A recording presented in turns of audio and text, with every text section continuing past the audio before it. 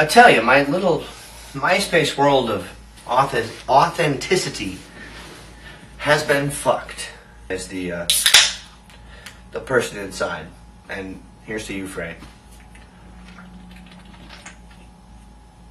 Now the second was a little bit more of a shock because I put out a tribute blog to this blogger when they allegedly got deleted. I don't think they got deleted. I think they deleted themselves in order to create um, sympathy. And that's what turned the corner for me. I'm talking about Kendalicious. Here was a. Well, first of all, and first and foremost, she was attractive, an attractive woman. Well, I mean, that was the baseline. Hot. And, um, but an avid commenter.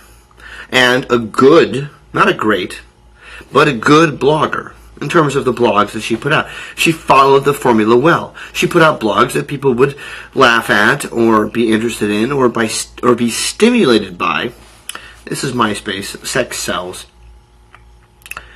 And uh, sexy girl putting out interesting blogs. Yeah, she got some attention. Well, apparently, I mean, completely divergent. I had no idea any of this was going on. But at the same time as um, I was putting out a blog about, oh my God, Kendalicious got deleted, or you know, she was. Uh, there's a top blogger, more top than I, whatever.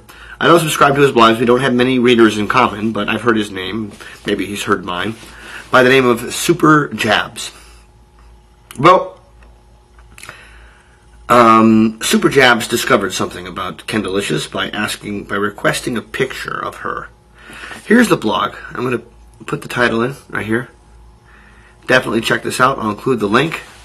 Point being is that through some deductive reasoning and calling people on their lies, he discovered that uh, Kendalicious is not, in fact, the person who's in the pictures that she says she is. She's not the person. And um, uh, you can check that blog out for, to see the uh, physical evidence of that uh, lie.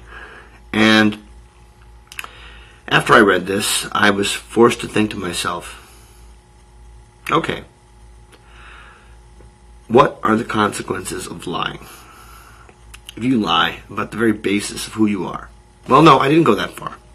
I thought, all right. So if these very same comments and blogs were put out by a girl who was, you know, 5'1", 250, as opposed to, you know, 5'10", 110, um, well, not 5'10", 110, but anyway, but uh, in terms of the relative physical attractiveness, and you can't lie about that.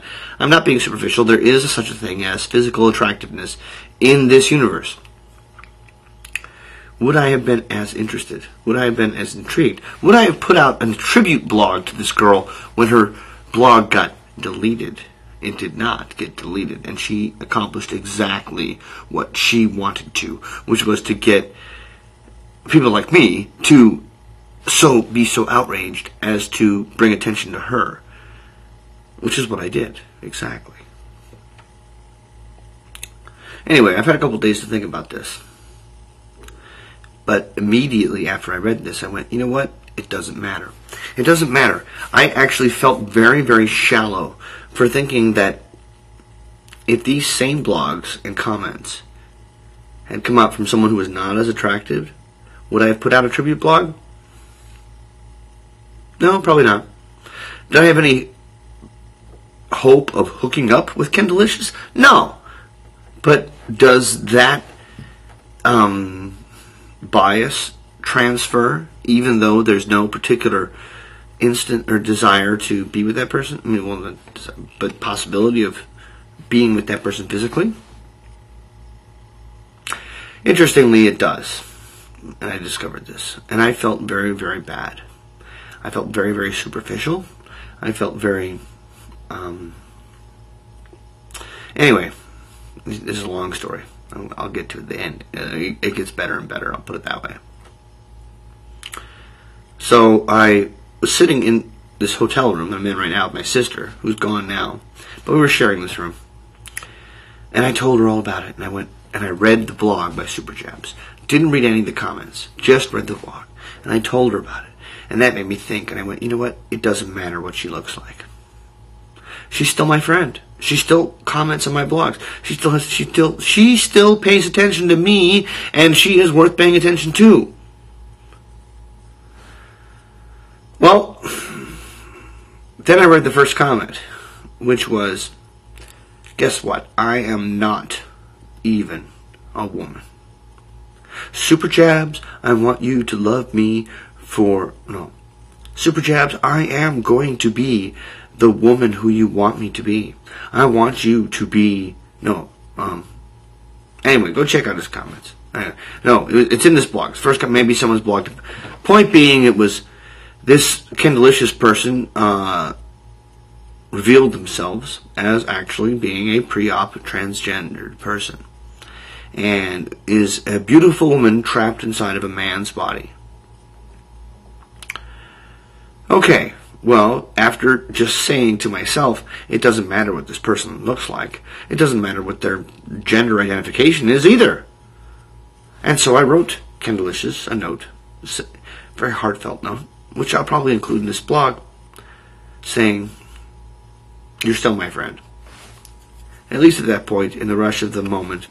Now, that a few days to think about it, well, two things happened. First of all, she never got that note because whoever created that profile that said "I still love you" was probably was probably um, either Superjabs himself or one of his friends because I soon afterwards got a note saying "Ha ha ha ha ha ha ha." Anyway, my altruism, my goodness, was not heard. And then I thought about it, and I realized anybody who would go to that lengths to deceive, anybody who would go to that lengths to, um, and this is what did it, was that she was not deleted for writing a blog about dildos. Fuck no. She was deleted because she deleted herself to draw attention to herself. And I don't have any connection with Superjabs. But yet, here she was a member of my blog, and, and you knew her. She was my number 11 in my top 10 bloggers. Number 11, she was like right there. Like I felt guilty more than any other blogger about not putting her on that list was her. And all for nothing? For Hecuba. What's Hecuba to him or he to Hecuba that he should weep for her? What would he do had he the cue and motive for passion that I have? He would drown the stage with tears and cleave the general hearer with horrid speech, make mad the guilty and appall the free, confound the ignorant, amaze indeed the very faculties of eyes and ears. Yet I, sorry, a little Shakespeare interlude. Point being is that Kendalicious, if you ever see this, I will never believe a word you say. And so friendship is pointless. Sad, but it's taken me a while to realize that. The friendship that we had, I valued.